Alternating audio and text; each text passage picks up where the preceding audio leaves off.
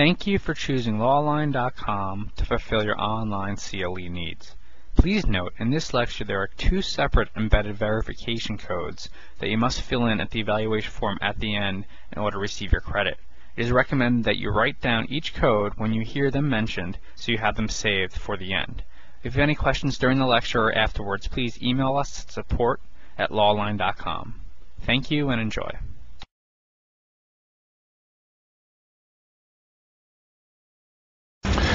Good afternoon. My name is Mark Gottlieb, and today's lecture is entitled An Attorney's Guide to Understanding Financial Statements. I'm a certified public accountant in the state of New York, and I have extensive experience in lecturing. In addition to being a CPA, I have a master's in tax and a variety of the credentials and um, in business valuation and forensic accounting. Today's discussion about financial statements is probably something you want to avoid. Maybe that's why you went to law school. But the truth is, is that as a practicing attorney, you need to have a clear understanding of not only how financial statements are prepared, but what, what is the true purpose of them and how you need to be able to understand and read them to service your clientele. Whether you are a traditional business uh, attorney that services the business community or you specialize in uh, disciplines such as personal injury or uh, tax or, what, or other types of disciplines, matrimonial actions, family law, you need to understand this area of practice. Financial statements are comprised of three primary different types of statements. The first one being a balance sheet, the second one being an income statement, and the third being a statement of cash flows.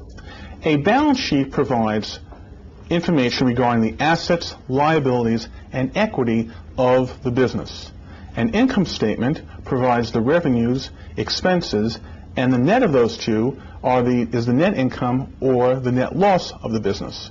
A statement of cash flows provides a reconciliation between the opening and cash balance of the business, identifying not only the income that's produced from the business, but also the increases and decreases in the assets and liabilities. The, the asset section of the balance sheet is comprised of three basic parts. The first one being current assets, then there's fixed assets, and there's long-term or non-current assets. The current assets are those assets that are commonly converted, are able to be converted into cash within one year. In fact, these assets or those assets are considered to be liquid. Examples of current assets are, of course, cash, but also there's accounts receivable, there's, account, there's inventory, prepaid expenses, and other current assets. The fixed assets are comprised of categories or accounts that are like machinery, equipment, furniture, fixtures, land, uh, building, leasehold improvements. And finally, there's non-current or long-term assets. And long-term assets are those assets that are not going to be, by design or intent, be converted into cash within one year. On the liability side, we have obviously current liabilities and non-current liabilities. Like the current assets section of the balance sheet, the current liabilities section of the balance sheet identifies those accounts that are going to be paid within the next calendar year. Now, current liabilities commonly include accounts payable, accrued expenses, taxes payable, payroll taxes payable, sales taxes payable, and other current liabilities. Non-current or long-term liabilities are those accounts that are traditionally going to be not going to be paid within the next calendar year. These may be long-term debt and other notes and obligations of the business. The, th the third and final section of the balance sheet is dependent upon the type of entity that the business is operating out of.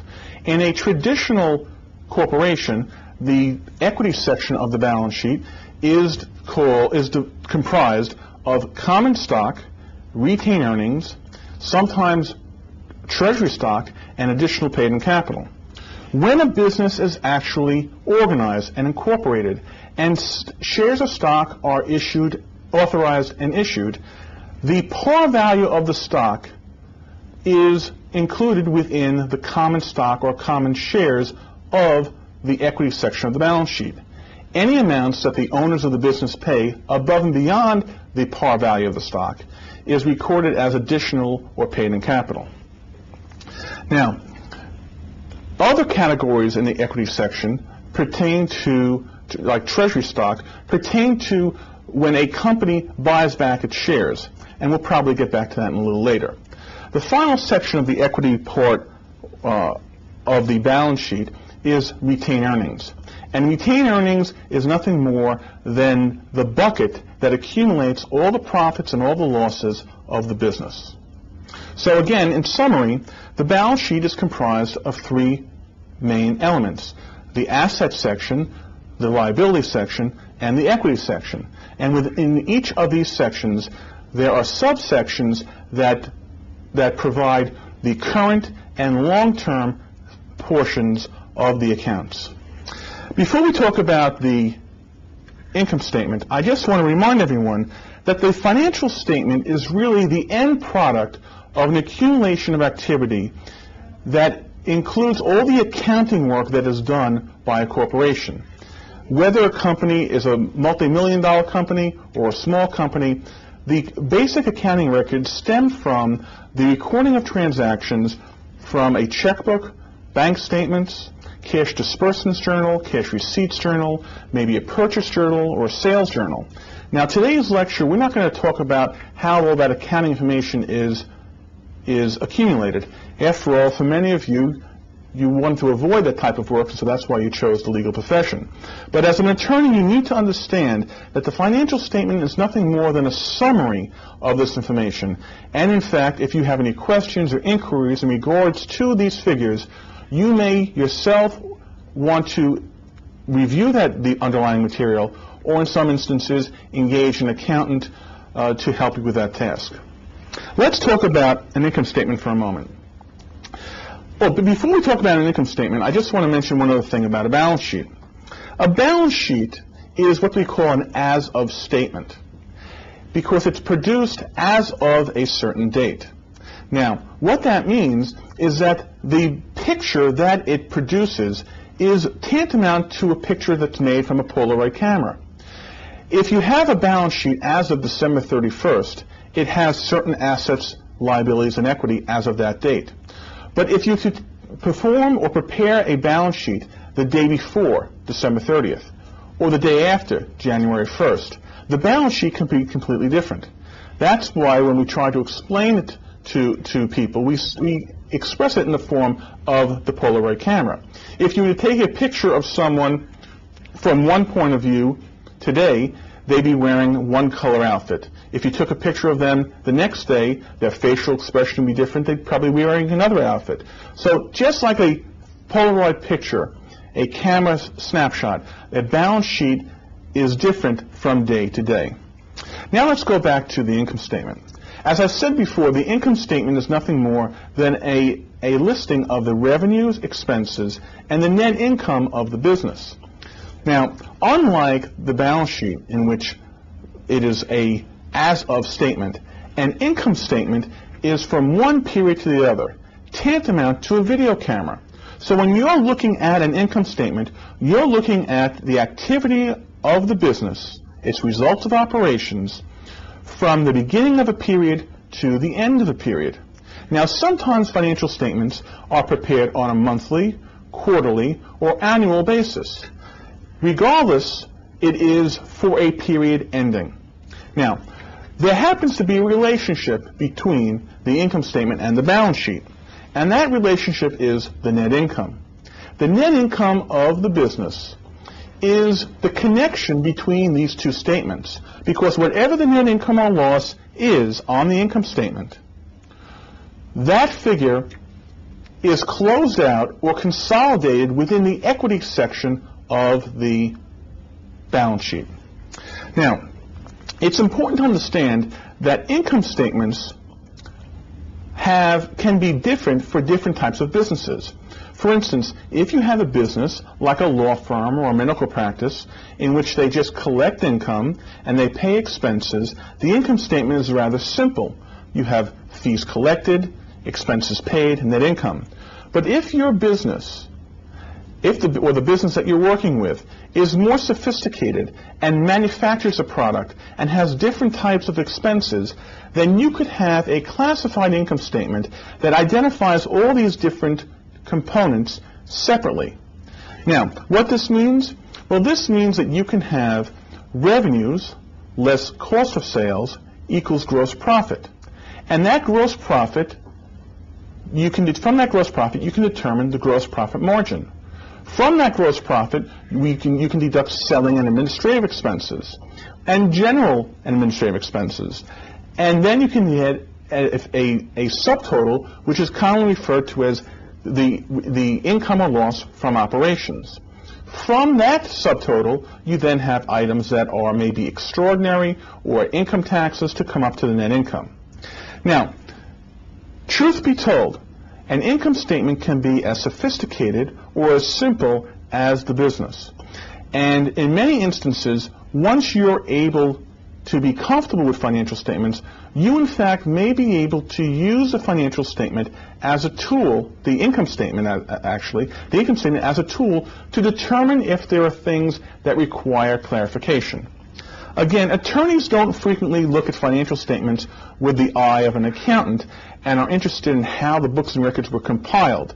What they're looking for is they're looking for some evidence or some symptoms that would produce answers to questions they may have. For instance, if we have a business and its gross sales are $100 and its cost of sales are $40 and its net uh, its gross profit is $60, that's year one. We have a 60% gross profit margin. In year two, when we have the same company and we look, we have $100 worth of gross sales and our cost of sales is $60 and our gross profit is $40, we now have a 40% gross profit margin.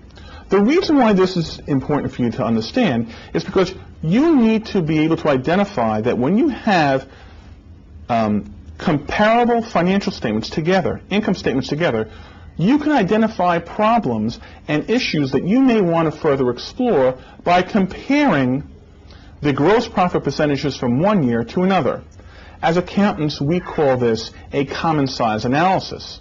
This common size analysis is not only performed at the gross profit margin, but throughout a variety of, throughout the entire um, income statement analysis. So you will commonly see an income statement that has real dollars in one column, and the next column you may have it as a percentage. That percentage column is called the common size analysis. As forensic accountants, we commonly use this common size analysis to identify trends, problems, misclassifications, and even errors. Okay. So now the third statement I just want to talk about very quickly is the statement of cash flows. And as I had said in the beginning of our, of our Please take a moment to write down lawline.com's first verification code. lawline.com's first verification code is advice, all in lowercase, A-D-V-I-C-E, advice. Our um, lecture, the statement of cash flows is nothing more than a reconciliation of the opening and ending cash balance. It starts with the income, net income from the income statement, and adjusts its reconciliation for not only non-cash transactions, such as depreciation and amortization, but then the changes, the increase in de- increases and decreases in assets and liabilities. When you combine all those elements, you're able to reconcile cash. Now, the reason why it's very important to reconcile cash is because you want to be able to look at one piece of paper and identify exactly how the company has been able to account for its increase or decrease in cash. This reconciliation not only shows, as I said before, the, the income, but it also shows increases in investment, increases and decreases in financing, and other attributes associated with the changes in balance sheet items.